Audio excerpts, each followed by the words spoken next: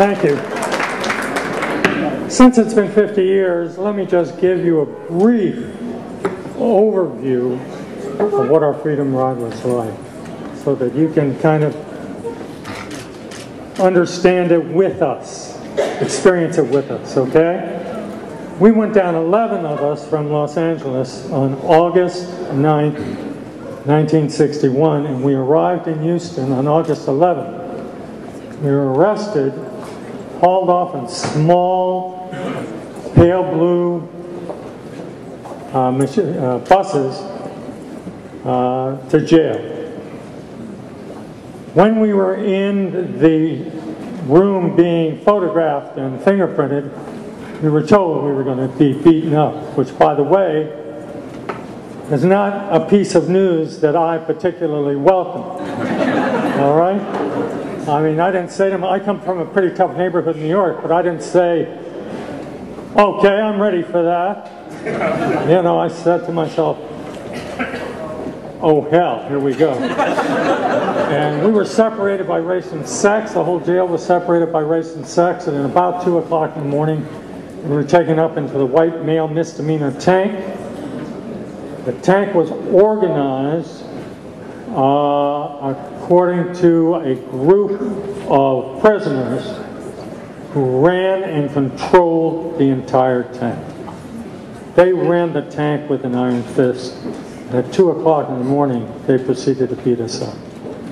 And they beat us up for a couple of hours. Now, my beating was not, you know, a very nice experience, but it was not as bad as Steve Sanfield's beating was. Okay? It was a bad beating, but it wasn't a terrible beating. Okay? Something I don't want to experience again, yes. but, you know, I was able to get up the next morning. The right side of my face, I'd been kicked in my face, was completely swollen. And interestingly enough, the, uh, the prisoners walked up to us and basically told us, that's it. You have nothing else to worry about. And they made it clear that it was the guards who told them to beat us up, and that's the only reason we were beaten up. We got along for a couple of days. We survived, largely through our wits, thanks to Bob Kaufman, probably more than anybody else, our so-called spokesman, really our leader. And our, our approach was to separate out, stay separate, don't get involved with any of the prisoners, don't do, get too close with any of the prisoners, don't get too tight with them, don't cause any problems, don't make any waves. And everything went pretty well, although there wasn't, you know, there were times when it wasn't quite that, that simple. However, uh, the following night, two nights after we were arrested, our black attorney named George Washington Jr. showed up at the tank. And Bob Kaufman was led forth to meet him. There was a little hole at the front of the tank.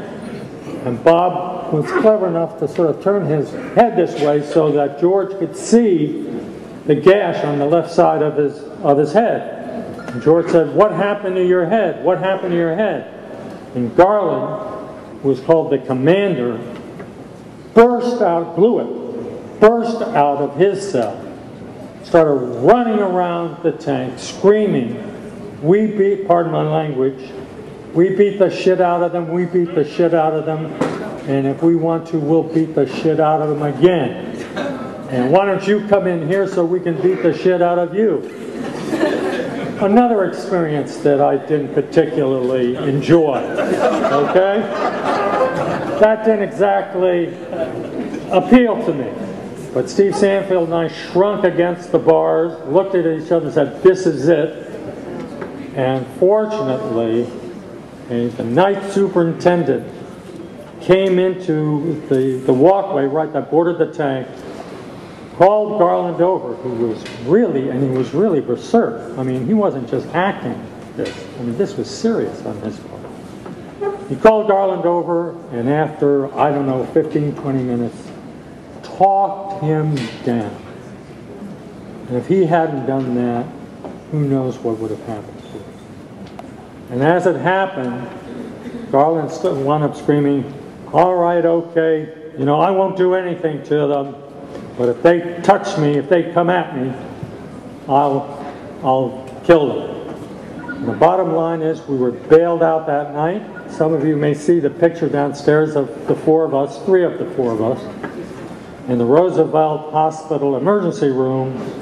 And as a result of that experience, I've had a herniated disc for my entire life, which uh, had the effect, among others, of getting me out of the draft. So not everything was bad, okay? But that in a nutshell is what happened. And that's what caused me to get deeply involved in the civil rights movement really for the rest of my life.